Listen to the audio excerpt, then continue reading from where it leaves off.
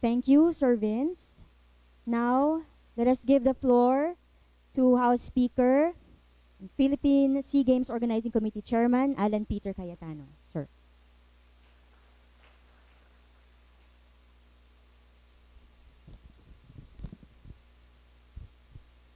The book of Galatians tells us, whatever you sow, you will reap.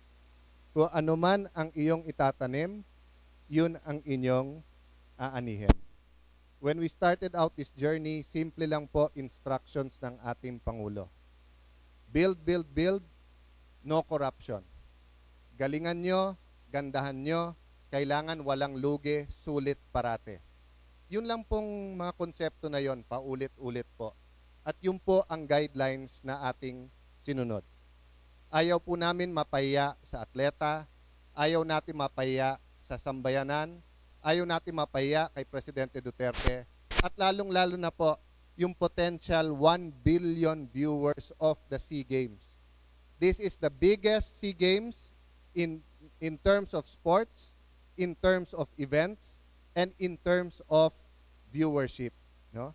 So, ang tinatanim po natin dito ay yung gusto nating anihin in the future. We want to jumpstart our grassroots, national grassroots program.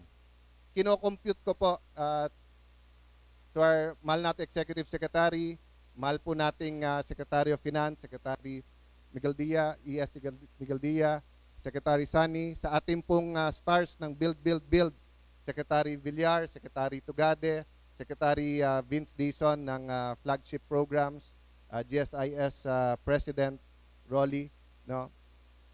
You know, tinatanim po natin to because we're looking 5, 15, 20, 30 years from now. Give you a quick example. The Metro Manila Subway Project. It will take 10 years, Kuya Art? 10 years. Kung gusto sana ni Kuya Art magpabebe lang magpaganda, marami siyang pwedeng quick fixes na may litrato, may uh, ribbon cutting, but it won't solve the traffic and congestion uh, problem. Yes, we could have refitted Rizal. I don't know how much it would cost. I think it might be more even more expensive. Dahil mas maliit yung lupa, maraming gigabain, maraming gagawin. But we want to decongest Metro Manila. Government owes, uh, owns 30,000 hectares, right? In, uh, in Clark. So, kung yung mga private business napapataas yung yun ng lupa, sinusunod natin ang gusto ng Pangulo. Gobyerno naman, sa taong bayan naman. Uh, Congressman and uh, POC President uh, Bumble Tolentino is here, Abraham Bumble Tolentino, and I was telling him, Ken, pwede pa ba tayo magsama ng isa pa, isa pang gold medal? Sabi niya, late na kasi kailangan yung federation uh, pumayag at kailangan four ang mag-participate. So sabi niya, anong gold medal ba iniisip mo? Sabi ko, gold medal for crab mentality. No? Kasi alam ko na kung sino mananalo eh. May nagbigay sa atin ng free uniforms. Binad press pa, pinalabas pa overprice. Paano ma-overprice ang libre? No? And then afterwards, nakita nyo po yung ginawa ng national artist. Pumunta po kayo sa mga art gallery. Yung sing laki po ng uh, podium na to na sculpture, na hindi pa national artist ha, Siguro 2 to 10 million. Depende sa halaga. Ito po, hindi lang uh, national artist. And of course, nakikiramay pa rin kami sa pamilya. Wala pang isang taon ang pagyaon niya. It turned out to be his last work. Yung huling obra. No? Alam niyo po yan, pag natapos ang SEA Games, kung 100 million, may bibili niyan eh. But it's priceless. No? It's, it's part of the history and culture of uh, of the Philippines, of Clark, nalulungkot po talaga ako nung napanood ko ang ating dating Pangulong uh, Aquino na nagpa-interview yesterday. Bakit? Eh first of all, nag-announce sila noong Tuesday ng ceasefire. Sabi nila, para sa mga atleta, para sa ating bansa, because maraming hindi nakakaalam, the 11 national organizing committees of the 11 countries, including our own, are all in the Philippines already. Uh, I came from Singapore, pina-flash na sa TV ang SEA Games, no? So sabi nila ceasefire after the games na lang. At sabi ko, huwag kayong mag-alala. After the games, kahit araw-arawin nyo ako, ako haharap, ako sasagot. Kung may kailangan idemanda, ako idemanda nyo. Pero wag, wag before and during the games. Eh araw-araw nasa TV. Talagang yung all talk lang, operation all talk lang. Parang 2022 na siguro nasa isip. So ano sabi ng Pangulong ah, ah, Aquino, dating Pangulong ah, Aquino? Eh yung cauldron daw mahal, nasan daw priorities? Eh pi- 50 classrooms ang nagawa sana. Nakalimutan niya na kina ako nung ako ay majority leader sa Senado at nakita ko sa budget 10 billion pesos para sa APEC. Sa APEC po. At ano ang sabi nila sa amin? Huwag kayong mag-ingay before and during dahil lahat ng bansa at international press nandito. Sir, bakit medyo magarbo yung mga gala night, yung mga ibang mga kagamitan? Boss, representasyon to ng ating bansa. Ilan ba ang dapat nagawang classroom kung hindi natin hinost ang APEC? 10,000 classrooms. Tapos sasabihin nila, simbolo ng SEA Games, simbolo po ng ating mga atleta, fighting spirit of the Filipino, 50 million, titirahin nila. Eh sa bibig mismo ni Senator Drilon nang galing, hindi to overpriced. Walang nagsasabi na it's excessive or overpriced. Eh di ano issue? Namamahalang kayo sa 50 million pero sa 10 billion okay lang sa inyo. The day before bringing up to ni Senator Drilon, he was asking for 50 million for uh, CPP, for the Philharmonic, CP, for the Philharmonic na mag-tour sa buong mundo. Which we supported because that's about Filipino values and culture. Hindi na, wala naman nagsabi, wag ibigay sa Philharmonic dahil 50 classrooms ang 50 million, no? So, ang aking pakiusap, wag nating sabihin we win as one, and then babanatan natin ang sariling atin. After the games, we will paint a target sa ulo dito. Heramin nyo yung sniper guns na gagamitin dito para sa security. 'di ba? Heramin nyo yung drones na may bomba na anti-terrorist. At kami ni Kong Bambol ang gawing nyong target, 'di ba? Pero sa ngayon po, para sa atleta po talaga ito. Unfortunately, this debate will not be won this year or in 2022, 25, 2028. Believe me sa mga athletes, I grew up like Vince, mas bata sa akin ng konti si Vince, na idol si Lydia De Vega. During the time na ang Pilipinas, dating number two lang sa Japan, and then suddenly, pababa ng pababa, suddenly there was this inspiring figure, the fastest woman in Asia. Hindi lang in the Philippines, hindi lang Southeast Asia, in Asia. Suddenly, there were talks about the Olympics. And then, Miss Muros came naman. Ba? Ganun din. And all the other inspiring. The story of Manny Pacquiao. Ba? Uh, I mean, who would have thought, nung, nung bata kami, lalo yung thriller in Manila, Mo, Muhammad Ali, na siya ang magla-light ng cauldron sa Olympics nung araw, si Muhammad Ali. Did we ever think that we will have one of the greatest fighters ever in the country to light our cauldron? Tapos ano ibibigay natin kay Manny Pacquiao? Kandila? Bibigyan natin ng palayok na doon niya sisindihan? O magkano ang damage in reputation kung palpak yung facilities? You cannot buy this kind of media value for not only local but international press, no? So, ladies and gentlemen, we are representing Team Philippines. It's not about the Duterte administration, it's not about Chairman Cayetano, not about President Bumble or Chairman Butch, or not about the infighting of sports that's not only Philippines but all over the world. Di ba? It's about how we play the game. So sana stop today and we fully support our athletes. And sana we look at these facilities and tell ourselves, sana ang Region 1 meron din ito. Sana ang Region 2 meron din ito. Sana ang mga isla sa Visayas kasi mahirap mag-region doon dahil tutulay ka pa ng dagat from Bohol to Cebu to Iloilo, 'di ba? To uh, Negros, you know, and then Mindanao. I really look forward to the day, Vince, that people will look at this sports complex and look at Rizal and tell themselves, sports is as important as education. Eh, sa athletes dito, saan kayo natuto ng teamwork? Sa elementary, high school, college, or sa sports? Oh. Saan kayo natuto ng disiplina? Oh. Siyempre, konti sa magulang, konti sa simbahan, Pero hindi ba sports ang nagturo? Sino nagtuturo sa inyo, wag magdroga, wag uminom masyado, wag manigarilyo? Was it all etong ginagastos namin sa health?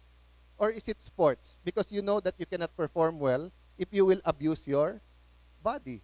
Di ba? So, sports is very important to a nation. Just like morals, culture, and arts. So, Mr. Executive Secretary, who has had weekly meetings just to ensure the success, Sir, thank you very, very, very much. Much, much appreciated po. Seksani, thank you po for the 6 billion na gagastusin po para dito. And to our President, dear President Duterte and Senator Bongo, salamat sa tiwala. Hindi namin sisirain ang inyong tiwala at sa ating mga mahal na atleta. No? Let's go for the gold. God bless you all.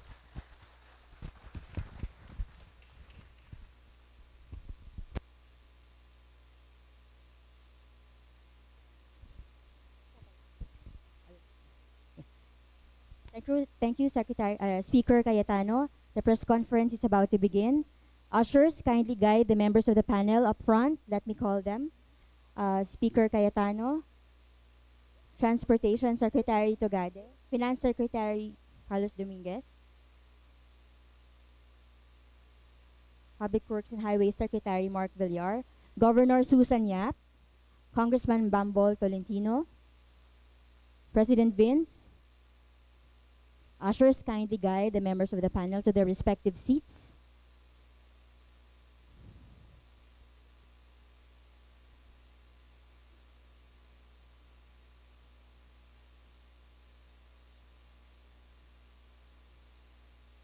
Governor Yap, Congressman Tolentino. Okay.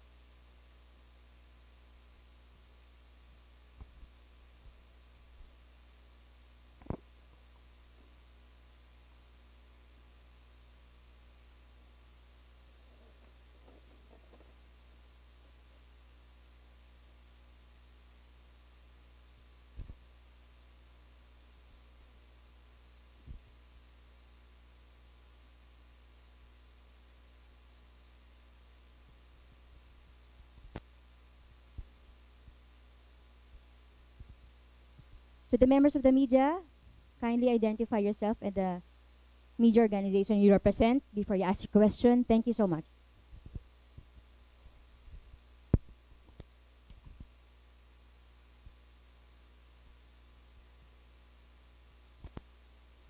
The floor is now open for your questions.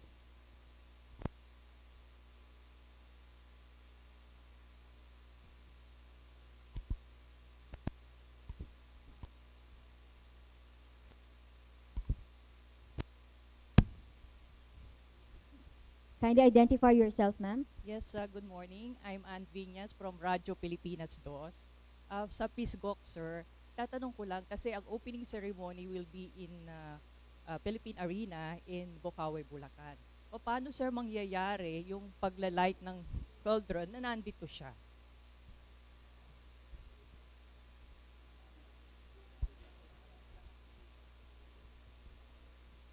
Hello. Hello, yeah. Very good question po. And um, ah, nabasa ko rin sa Facebook yung mga tanong. Pero total po, nine days to go. Can I let it remain a surprise? But ah, let me assure you, ah, it is one of the highlights of the opening ah, ceremonies.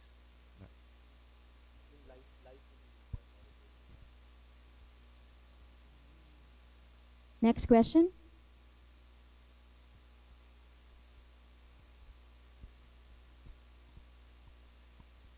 While you're waiting for the next question, the opening kasi is not only symbolic, it, it you know, it really dictates the the tone and the momentum of the game. So we really made sure na Olympic quality yung opening and that was inputted, no? How do we put our theme? We win as one. How do we make the other 10 countries feel at home? But also how do we light the cauldron given that uh, closing ang dito sa athletic center. So it's it's part of the whole uh, opening, including the fireworks. How do we have uh, less fireworks given that the president and many environmentalists do not want the fireworks uh, anymore. So lahat yan po naka-input sa opening ceremonies. No? It, it will be a very good uh, show.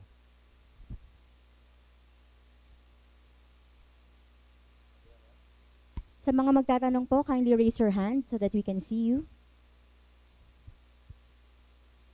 Okay, ma'am. Kindly give the mic. Hi, hi, sir. Good afternoon. Cian Arcangel from CNN Philippines. Sir, how would you, in terms of percentage, how would you um, rate yung preparedness ng country to host the SEA Games with less than, with a few days to go before it starts? Ang uh, athletes natin, 100%. Yung preparations.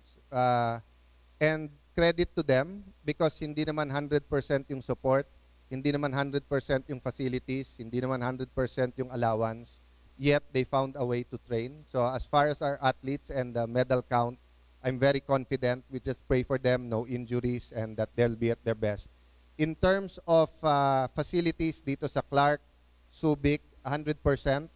Uh, sa Tagaytay, will finish this week, no? This week, uh, sa Rizal, uh, they promised us that it will be done. But we have uh, a contingency plan just in case any of the venues, uh, you know, there, there was, uh, I think it was APEC sa Vietnam, tapos biglang binagyo and binaha yung katabing site. So, uh, we have to have contingency. So, I, ca- I can tell you, handang-handa na tayo. Uh, having said that, the reality of uh, hosting uh, games like this uh, where you have a thousand foreign uh, journalists here, uh, 11,000 uh, athletes and coaches, and uh, 9,000 volunteers. Uh, we have 56 sports, more than 500 events, uh, almost 60 ata yung venues. Uh, may day-to-day crisis management yan and day-to-day problems, no? Uh, including traffic. So, do- doon ang sinasabi kong handa, prepared, but meron pong mga talagang kailangan harapin uh, on a day-to-day uh, basis. Sir, follow up. Um, what can you say doon sa naging uh, statement ni Pangulo about the cauldron? Na parang he defended the cost of To of tell you the truth, uh, although I, I thank him so much, nahiya ako na kailangan pa niyang i-mention at kailangan pa itanong sa kanya. I think we're the only nation in the world that will host a multi-sport international event like this, then titirahin ng opposition right before the games and ask the administration to explain. Did this not happen nung ASEAN 50th year? Did not happen sa APEC? It doesn't happen uh, in other countries. Uh, for example, sa Japan, no? Nagkaroon ng eleksyon, di ba, for uh, parliament and prime minister. And uh, Tokyo Olympics and there was a time that may rumor baka tumakbo yung mayor ng Tokyo. Did you hear any Japanese hit the preparations for the Tokyo Olympics? Wala. Bakit? Country is more important than politics. So ako lang, naiya ako sa ating Pangulo na pati pala sports, eh, pwedeng gamitin sa politika. No? Ang layo pa ng eleksyon eh. And our, our athletes here, iba-iba yan. You know, um, some like to vote, some don't, most do. Uh, some like the opposition, some like the administration. So, I, I, I think, you know, it's uh, really nakakaya yung nangyari. Uh, to, to add, no, this morning, I got calls and pinadala sa akin na question na may isang uh, internet publication na sabi, Cayetano favors Villar dahil nandun daw yung bowling competition. So I asked Sec Mark, he didn't even know na meron bowling sa Star Mall. And so I had my I had my staff check. It's the POC and the uh, what do you call the managers, the sports managers, competition managers who scouts all of this because they have to make sure that the international federation uh, will say yes because kailangan regulation. So they found bowling alleys in Star Mall not owned by the Villars. It's owned by Puyat Sports. And alam naman natin pagdating sa bowling dito sa Pilipinas, Puyat Sports is uh, one of the gold standards, if not the gold standards. So that's an example of pure politics, of trying to find issues, no? Even yung sagot ni Chairman Butch sa sa Senate hearing, uh, Senator Drilon was forcing him to give an amount kung magkano ang ang ah, rehab ng ah, Rizal when Chairman Butch already said at the start, I don't have I don't know. Ballpark ito. He's not an engineer. 'Di ba? He's not an architect, no? Ah, ako duda ako 1.2 billion hindi kaya sa sa Rizal. Yet the opposition is going around town saying kaya pala yon. And remember, ang tanong ni Senator Drilon was only the athletic center. ah. Here we have three facilities, aquatic, uh, athletic, and the dormitory. So that's the kind of fake news, uh, misinformation that's going around. Does it hurt the administration? Maybe a little. I don't think so. Does it hurt the country? Yes. Does it hurt the uh, athletes? I hope not. I hope na may blinders sila and uh, I hope someone, uh, you will give them the new uh, uh, iPads Pro para may noise cancellation so that they don't hear everything. I don't blame the media. You have to report whatever uh, the news is, no? But yung pala ang pagka yung opposition pala ang mga liberal magsabing ceasefire, yung pala ibig sabihin press con sa umaga, press con sa tanghali, press con sa gabi. Yung pala ibig sabihin ng ceasefire. But it's not hurting us eh. It's hurting our hosting of uh, the SEA Games. So yun ang pakiusap ko. Afterwards, we're free, free ano, we, we have so much time. December 11, tapos na to. So December 12, tirahin na nila kami. Hi sir, just to follow up on the bowling um, event, yung yung uh, what is the arrangement between um, the the bowling uh, the bowling area and uh, Vistaland or uh, Star Mall? Sila lang ang may 20 lanes. Okay. So it just so happened that the Puyat Sports bowling lanes is in the Villar Mall. So they're renting from it. I, I don't know their their contract, but meaning, RG, it's a fair question. Mm. But whether it was in the Ayala malls or in SM or wherever, we will the the venue the um, the people that- are leading the venue and the Mm. competition manager will look which one um, fits the international requirements, Mm. which one yung accreditation. That's why we didn't use Rizal in the first place Okay. hindi class A ang ah, accreditation ng ah, ng ah, Rizal. If if you look mamaya at yung ah, athletic center, makikita mo gaano kahaba Vince yung sa ilal yung sa loob? 100 meters ba yan? There's an 80 meter warm-up track inside the Coliseum. There's a regulation side track outside Mhm. and then there's gym and other facilities inside. Lahat ito tinitignan. Ah, I know that even before SEA Games because I helped the uh, basketball group, the palarong uh, the MVP group to win the uh, FIBA 2023 uh, World Cup for basketball. And when they inspected MOA, uh, Araneta Coliseum, Arena, may, may list talaga ng mga kailangan, pati dressing room, pati yung box ng media and everything. So, it's easy to criticize eh, but to to actually have everything in order is quite uh, difficult.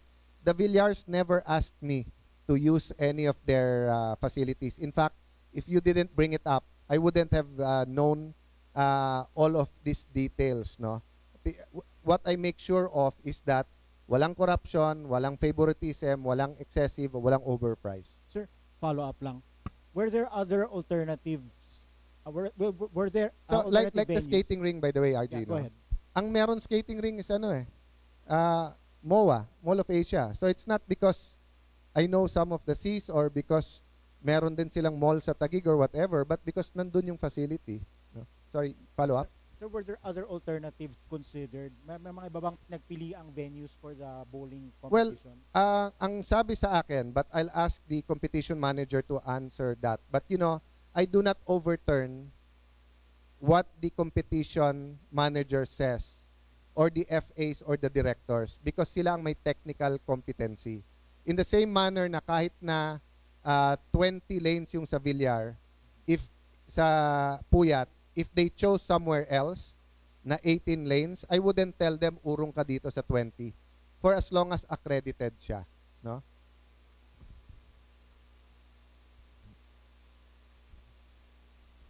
Speaker, good morning po. Sir, ah, nasa Senate kayo nung nakaraan ano. Ah, bakit ngayon niyo lang po binanggit yung tungkol sa 10 billion na sinabihan pala kayo ni ah, former Speaker, uh, as uh, Senate President Drilon na wag tirahin yung uh, APEC budget before and during. Bakit ngayon nyo lang po ito sinabi? No, I, I was talking in general, not specifically uh, Senate President Trilon. Remember, I was majority leader. I was in the mini LEDAX. We would be called to Malacanang. And you, you tell me whether ASEAN under Duterte, whether APEC under President Aquino, or, or yung mga ibang international events, parati naman may tanong ang kongresista at senador, hindi ba malaking amount to? Ang sinasabi ko lang, yung hypocrisy, na nung 10 billion ang hiningi nila sa Kongreso para sa APEC, para sa bayan to, representasyon to, karangalan natin to, we have to spend a lot. We have to spend on uh, uh, known artists and singers. We have to serve good food, di ba? Uh, para maganda representasyon. Yun nakita nila at justified nila. Pero yung 50 million na priceless work of art na forever na pagmamayari ng gobyerno, sasabihin nila sana 50 classrooms na lang. Unang-una, ano, lahat ng hingin ng DepEd na classrooms binibigay ng Kongreso ha. So hindi issue ang ah, ang kulang ng classrooms. Pero hindi kami tumatanggi. 'Di ba? And Drilon, I think Senator Drilon forgot. It's their administration na nagpilit ng K-12 kaya nagkulang ulit yung classrooms. I know because there's only two senators who objected, myself and Senator Trillanes. So don't talk to me about classrooms kasi you created the classroom shortage. Dapat we're on track na maging ah, 45, 40 per classroom. Kung hindi muna natin pinilit yung K-12. We were asking for 5 years bago mag K-12. So, but ang, ang sinasabi ko, mga kapatid natin sa media, do we want to talk about this? You don't have a choice. You have to report. Or do you want to talk about tourist sites in Taguig? Do you want to talk about Central Luzon? Si President Aquino taga taga Pampanga, taga Tarlac. I was going to ex- I was expecting ang sasabihin niya, may issues pag-usapan natin later. Pero we're proud. Proud kaming mga kapampangan na dito tinayo sa Tarlac. Eh hindi eh. Na, na, yung crab mentality pa rin. Akala nila sea game, seafood eh. Kaya panay ah, crab mentality, talangka ang inaabot natin eh. So, I'm answering your questions at nahihiya po ako kay Secretary Tugade, kay Secretary Villar and Secretary ah, Dominguez kasi ayan, pwedeng pag-usapan build, build, build, pwedeng pag-usapan na I think Sexani, we just passed uh, may, may ask you to report that one good news yung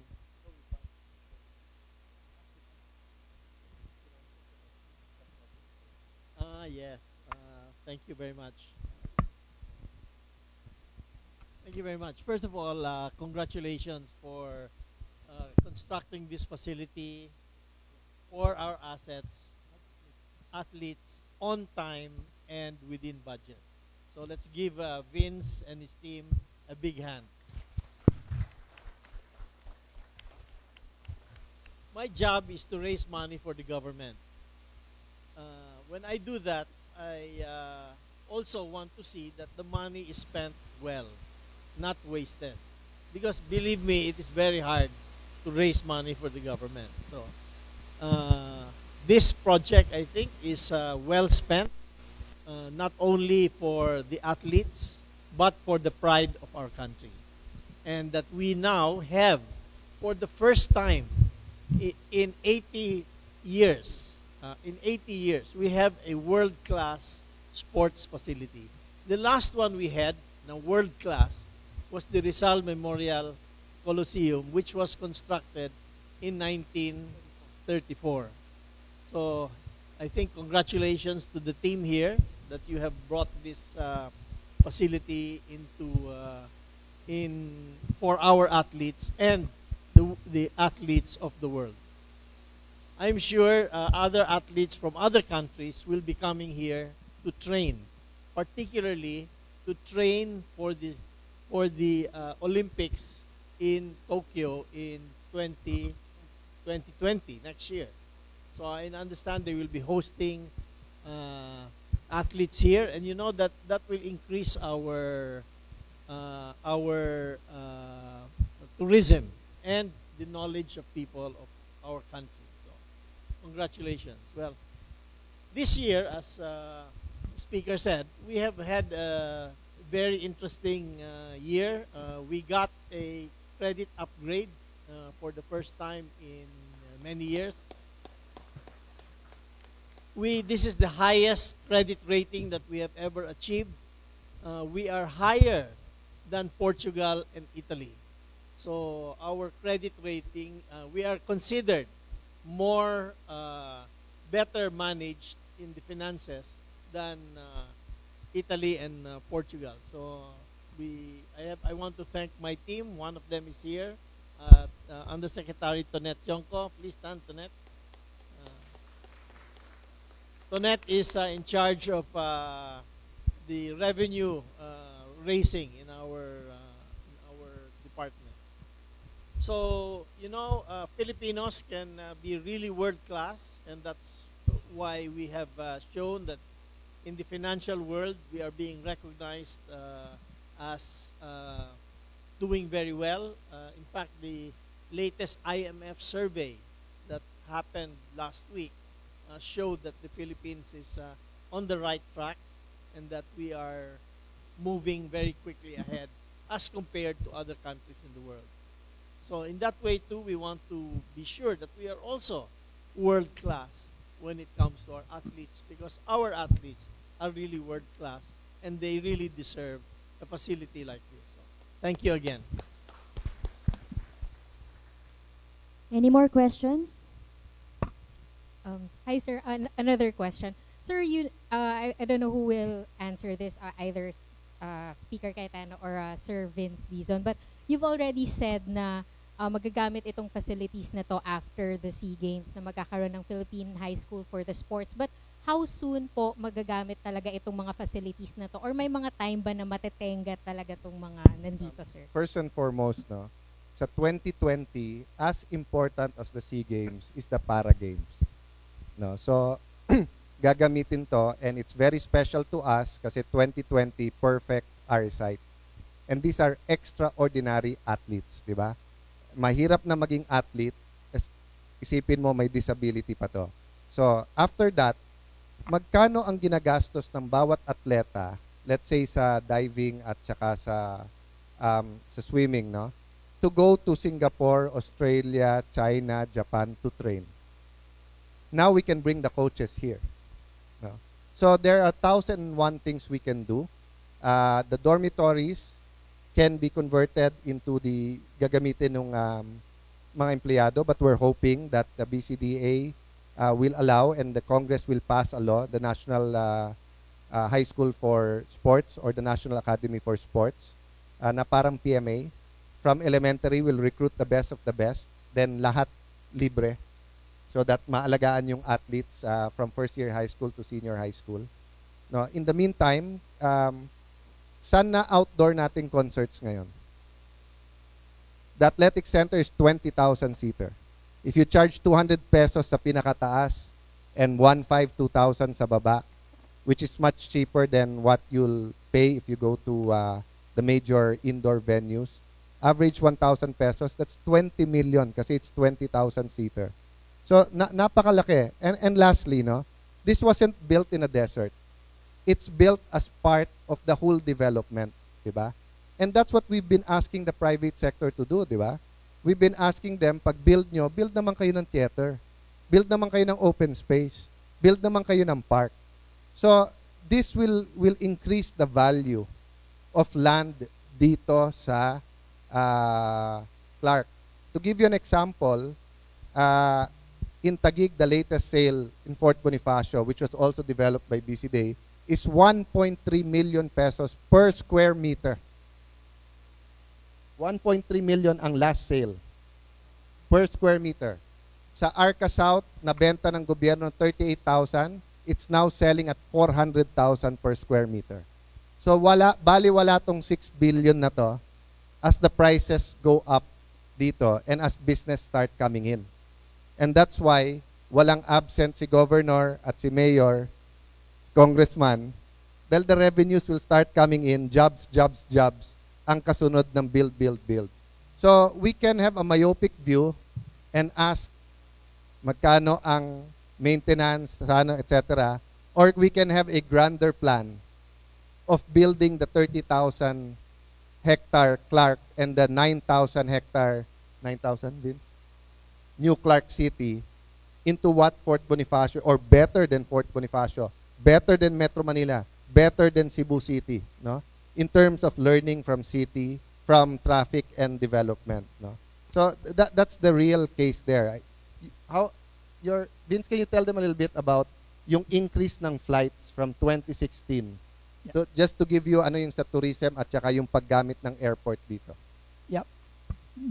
before I go into details, no, I just want to address that very squarely, very directly. Um, I know where the question is coming from, and believe me, uh, the last thing that this government will ever allow is for all these facilities to end up as white elephants. I, I- believe me, before um, some people have shown the facilities in uh, was it Athens and Rio and all the other Olympic facilities that ended up that way. From the very beginning, when we started planning this in 2017, when, when, when 2016, sorry, when the Duterte administration took over, that was already on our minds. Okay, so we are one with that, and we appreciate the uh, the the reminder from uh, from some of our leaders. But the first thing I have to say about that is simple. These facilities were not just built for the Southeast Asian Games. I will repeat that so that there is no confusion. The stadium that you see, that where we are now, the aquatic center, the athletes village, we did not build them just for the SEA Games. That is a big difference between Rio, Athens, whose facilities were really built uh, for the Olympics. These facilities were built as part of a master plan for the next major metropolis of the country. Okay? It, sometimes it's hard for us to uh, think about those big things uh, because we haven't really built anything this massive in decades. But the planners of New Clark City, which were formerly called, which was formerly called Clark Green City, actually started during the Pinoy administration. This idea of building a new city is a fantastic idea. It's probably one of the best ideas that has come out from the government. It came during the Pinoy administration. That is true. Mayor Ray Katakutan is here.